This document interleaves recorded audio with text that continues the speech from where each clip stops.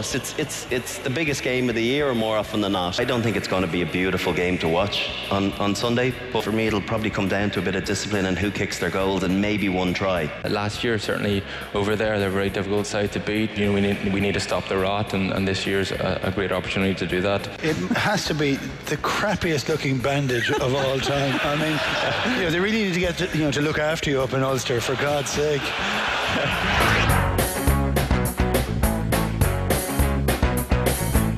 A lot of people, uh, you know, sometimes criticise me for not celebrating, but I'm like, well, we're 35 points down. you know what? You know what do you expect me to do? Like take my shirt off and run into the crowd? You know.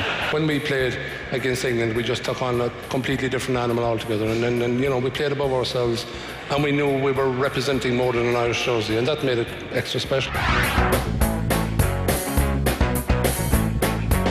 On Sunday, Ireland's experience, particularly at 9 and 10, will have a bearing on the game. But I think if Ireland are going to win this game, it'll be one try and Sexton will take his kicks. If we get our scrum right, I think we'll win. Simple as that. Ladies and gentlemen, you've been a beautiful audience. My thanks to, to our friends at Heineken for making all this possible. Good night, take care, thanks very much, bye.